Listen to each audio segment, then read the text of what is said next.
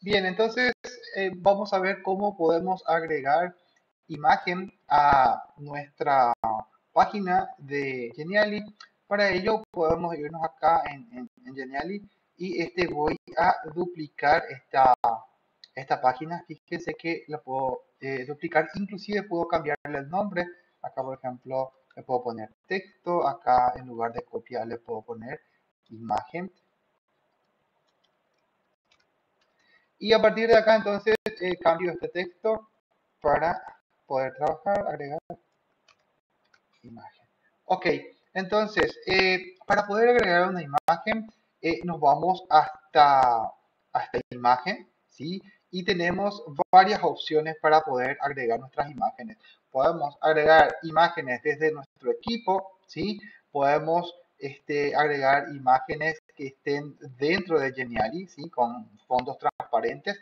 Podemos añadirlo desde Pixabay o podemos añadirlo desde nuestro Google, eh, Drive o desde nuestro Dropbox en este caso, o utilizando un enlace para poder eh, insertar nuestra imagen. Entonces, eh, para poder subirlo desde, desde nuestro computador, simplemente lo seleccionamos allí y eh, nos vamos hasta el espacio donde se encuentra, en este caso, nuestra imagen. Entonces, nosotros este, buscamos la imagen dentro de, de nuestro ordenador y una vez que tengamos ubicada eh, nuestra imagen, entonces este, la seleccionamos, simplemente la tenemos que seleccionar, le damos en abrir y en este espacio ya nos aparece nuestra imagen. Fíjense que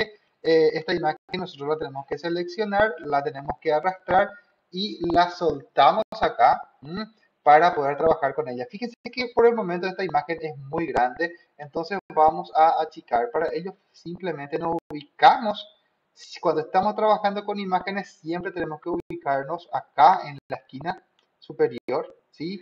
Y eh, arrastramos para darle el tamaño que nosotros estemos necesitando. Fíjense que acá también nos da las opciones para poder girar esta imagen. Nosotros le podemos dar este efecto, le podemos dar un giro, por, por ejemplo.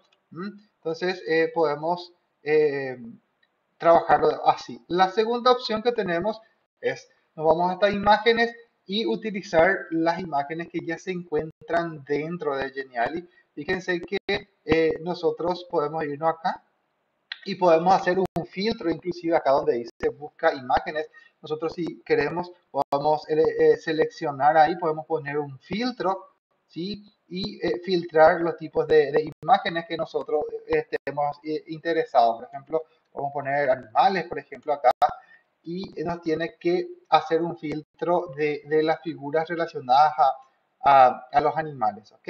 Entonces eh, es súper práctico eh, este buscador, uno de acuerdo al tipo de imagen que quiera insertar, entonces lo busca eh, en este espacio. Yo en este caso voy a utilizar este de acá, simplemente la selecciono y lo suelto en este espacio. Fíjense que eh, como les estuve comentando, es una imagen transparente. ¿Eso que quiere decir? Que eh, si yo pongo esta imagen sobre esta otra, fíjense que eh, se ve claramente la imagen que está debajo, que en este caso es la imagen que insertamos anteriormente. Podemos ajustar otra vez esto acá sin ningún problema, podemos mover esto acá. Y podemos también agregar imágenes desde Pixabay.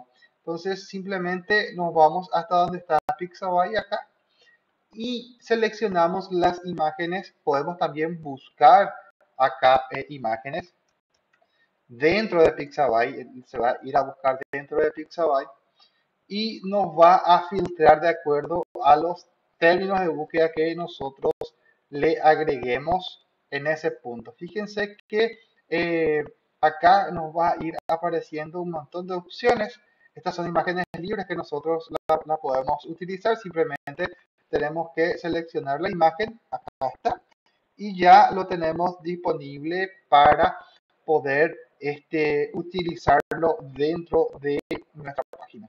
Entonces, este, esto ya, ya lo tengo acá. Eh, si lo quiero eliminar, simplemente le doy en suprimir. Y aquí ya tengo mi imagen lista. Fíjense que son imágenes transparentes en este caso. Y ya la puedo eh, utilizar. La otra opción que tenemos eh, para trabajar o para traer imágenes es utilizando también imágenes de, de Giphy.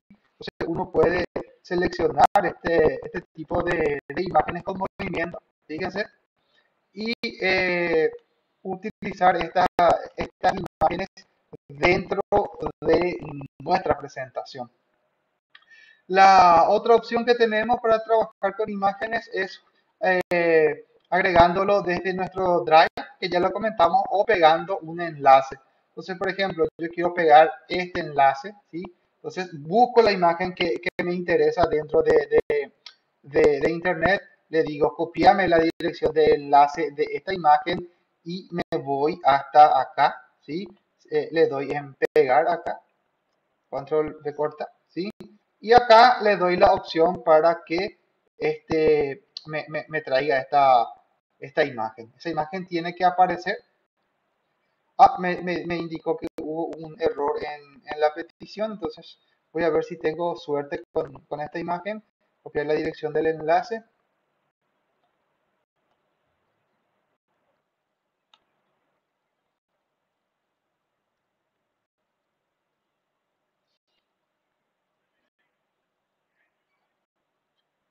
Y voy a intentar insertarlo desde, desde ahí.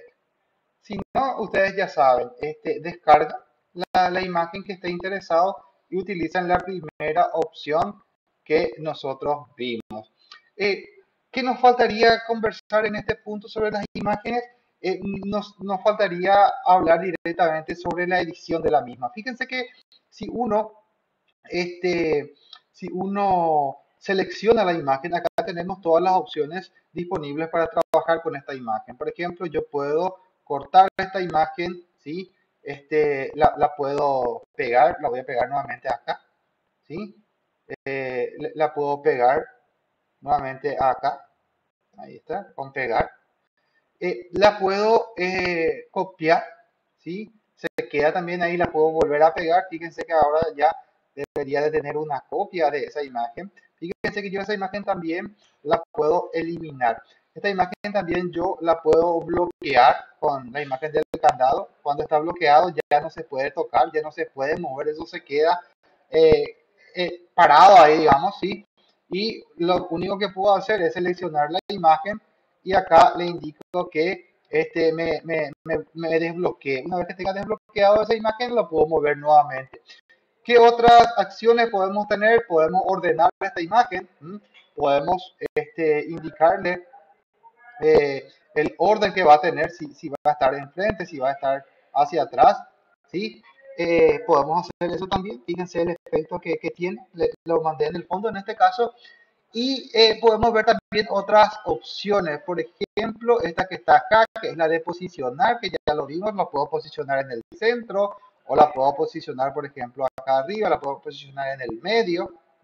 Eso siempre va a depender de la necesidad que yo esté teniendo.